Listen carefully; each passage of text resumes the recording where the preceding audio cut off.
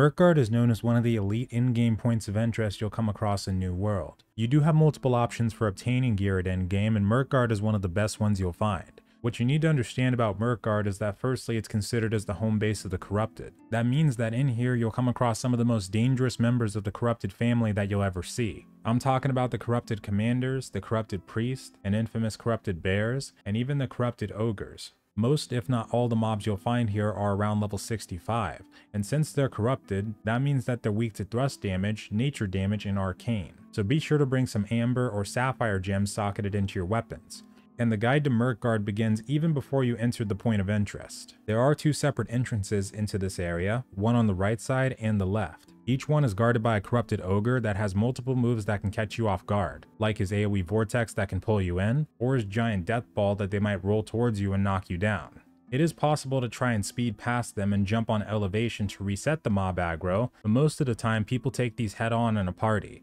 It used to even be possible to solo them, and when we get to launch with certain builds that might still be a thing. There used to be a secret entrance into Myrkgard, but it's since been blocked off. But firstly, there's one point on each side of Myrkgard that I refer to as campfire checkpoints. You should find at least two more directly in the front of Myrkgard too, but this pole structure is normally where you'll find areas that are usually guaranteed to let you put down campfires. You can always put down a campfire anywhere outside points of interest and sanctuaries, but you'll sometimes find these inside and outside points of interest and this is where you know for a fact you can put them. If you start on the left side, an easy way to get past the ogre is to run forward and immediately take the first right. You can jump up on this platform right next to the blacksmith area, but honestly I prefer entering from the right side. You also have the Archmagister on the right side that has easy access, and you can continually farm this mob for really good in-game gear. Because of the drop changes that were made during the closed beta, you do not want to take more than about 10 to 12 people into Guard at any given time. The reason for this is that they made it so the more people that aren't in a party, or the more parties there are than just one, the higher the chance that the unique enemy will drop less than usual or nothing at all.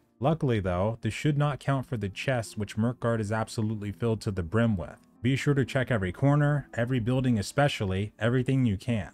Here is where you can get a really good chest rotation, and Myrkgard has always been notoriously known as one of the best places to farm crafting and refining materials, even schematics. It may not give as much as it did before, but you can still get a lot of use out of this, and even gear if you get lucky. By the way, be sure to bring some luck items here to help your chances.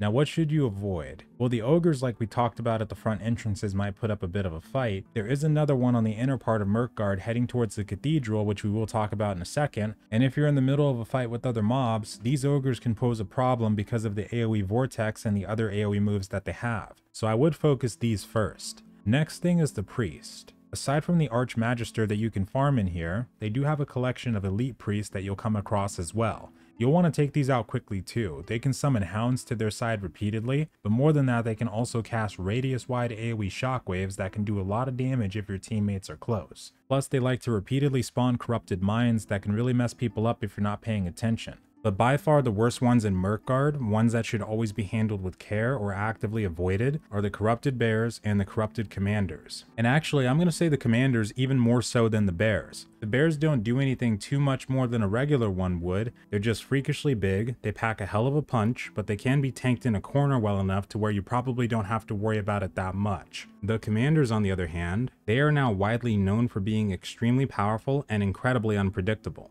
Part of the problem with only trying to bring one party into Myrkgard so you can get the full benefits is that you cannot easily defeat these corrupted commanders with just one party. Not to mention that the corrupted breaches scattered around Myrkgard spawn multiples of the elites, such as the bears, the priests, the regular corrupted elites you'd find at different breaches, and the commanders on top of that. There used to be objectives in the Path to Myrkgard Arena questline that would lead you to the Corrupted Spriggan Arena. This was located at the very top of Myrkgard at the Cathedral, and Commander Thorpe who we initially traveled with to the island has always sat inside. This area, however, has been blocked off for a while, and not only is Captain Thorpe no longer reachable, the items needed for the questline no longer obtainable from the portals, and the arena is no longer there, but also, if you were to glitch past this area, you will see that they are in fact developing an expedition to go down into the lower levels. Now if you haven't seen my video about a peek into the future of New World, there's more context to this, but this expedition is the one that I believe will be later called Isabella's Lair. So we'll have to wait for that to come back, but you can at least still do the portals for the caches if you want to. But if you only have one to two parties, it might not even be worth it.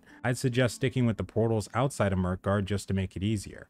But back to the commanders. So these bastards love to do these random flame dash moves that tend to kill almost anybody that gets caught in their path. They're not as easy to tank because of this. Even if you hold aggro, they tend to do this from time to time. They also have multiple area of effect moves, including their ground slam that can pretty much one-shot you, their spinning move that Captain Thorpe tends to do when you fight him as well, and their AoE frontal greatsword attacks. So honestly, if you don't absolutely need to, you'll be better off just running from or avoiding these commanders altogether. Keep in mind that no matter which side you choose to enter Myrkgard from, you'll cross paths with one of these commanders halfway through, but the right side of Myrkgard is easier to deal with because you have multiple places near the commander where you can climb up and reset aggro. Highly recommend doing this to prevent your entire party wiping. But yeah, past that, the only other major thing you need to farm in Myrkgard is the Archmagister on the right side. Before you even get to the Magister, you will have a corrupted breach that you'll have to deal with. And yes, it's one of the annoying ones. However, there is a campfire checkpoint just on the staircase up to the boss, and also there is in fact a way to skip past this breach if you really want to.